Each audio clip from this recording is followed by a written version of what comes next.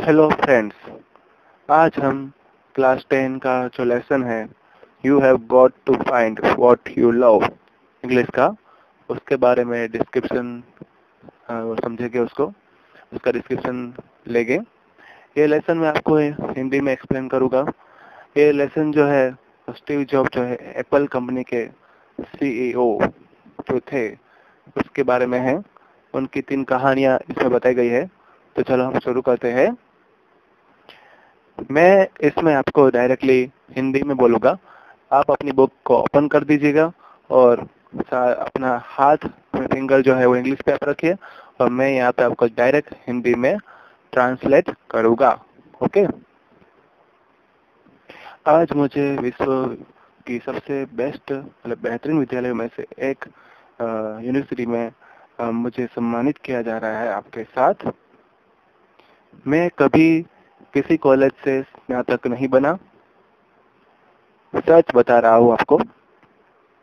लेकिन आज का जो वक्त है, वो एकदम कॉलेज ग्रेजुएशन वाले स्नातक का नज़दीक, निकटतम का वक्त है, जो मतलब ये बता रहे हैं यहाँ पे स्टेज ऑफ़ कि वो आज उससे मिलने का ये निकटतम, नज़दीक वाला समय है। आज मैं आपको मेरे जीवन के बारे में तीन कहानियाँ जो है, मैं वो बताना चाहता हूँ। ये कोई बड़ी बात नहीं है।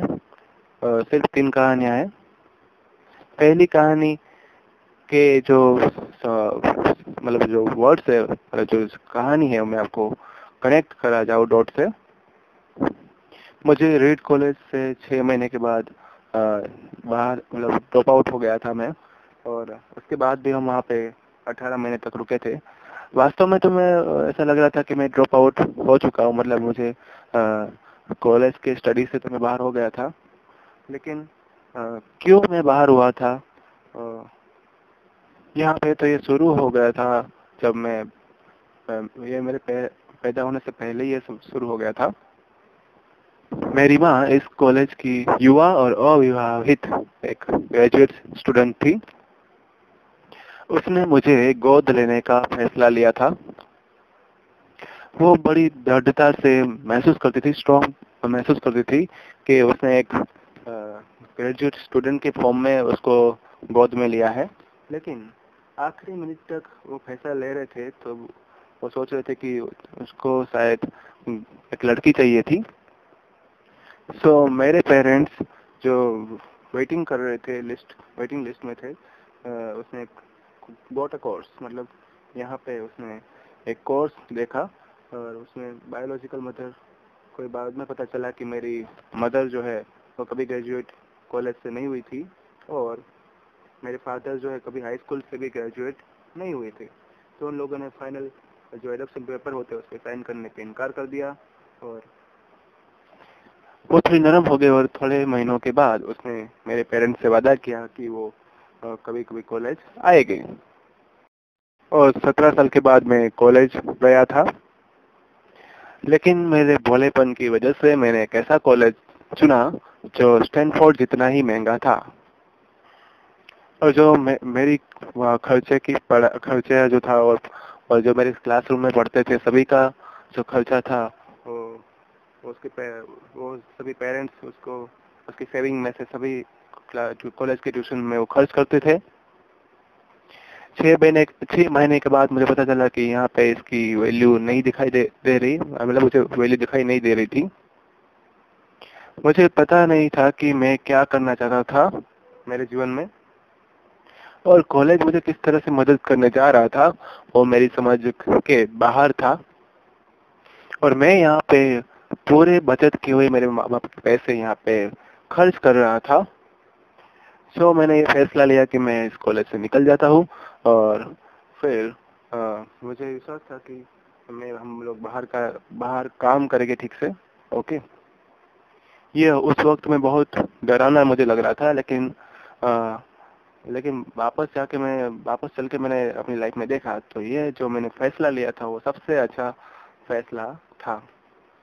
जो उन थोड़ी मिनटों में मैं जो बाहर निकल गया कॉलेज से मैं चाहता तो वहाँ पे क्लास लेना बंद कर सकता था लेकिन उसमें मुझे इंटरेस्ट नहीं था। आ, फिर छोड़ने के बाद जो शुरुआत थी जो समय था उसमें मेरा मन लगने लगा। वो थोड़ा दिलचस्प था। अब यहाँ पे सब ठीक नहीं था। मुझे जैसे एक हॉस्टल का एक जो स्टूडेंट को दिया जाने वाला कमरा होता है ऐसा रूम यहाँ पे नहीं था। मैं अपने मित्रों के कमरे में सोता था। वहाँ पे मुझे कोक की बोतल को रिटर्न करने के लिए फाइव सेंट जमा करने पड़े और भोजन खरीदने के साथ उतने पैसे हुए। और हर संडे में सात माइल, सात मील की दूरी तक चल के जाता था, क्योंकि क्योंकि मुझे रविवार की रात को वहाँ हरे कृष्णा मंदिर है, वहाँ से मुझे अच्छा भोजन उस रात को मिलता था, उसको पाने के लिए मैं वहाँ पे जाता था। और मच मतलब बहुत ही ज़्यादा मैंने उस टाइम पे ठोकर खाई। फॉलोइंग मतलब मुझे फॉलो करने के लिए मेरी जिज्ञासा और अंतर्ज्ञान उसके, और उसमें मैं बाहर हो गया था। शायद वो उस टाइम पे अमूल्य हो सकता है मतलब जब मैं वो चला और मैंने काम किया, वो अमूल्य हो सकता था। चलो मैं उसको अब प्राइसलेस मतलब उसको मैं उदाहरण के द्वारा समझाता हूँ। रेड कॉलेज रेड कॉलेज जो उसकी थी, वो उस टाइम पे शायद ही सबसे बेस्ट कैलीग्राफी का इंस्ट्रक्शन वो ऑफ़र कर रही थी।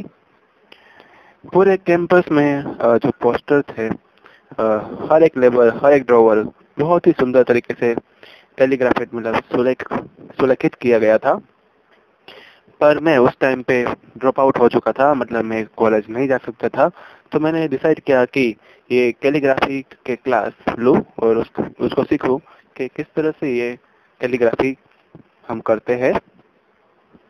मैंने आ, सीखा कि कैसे सेरिफ और सेंस सेरिफ टाइप करते हैं और उसमें कितनी बीच में जो स्पेस होती है तो लेटर के कॉम्बिनेशन के बीच में कितनी स्पेस रखी जाती है उसके बारे में मैंने सीखा।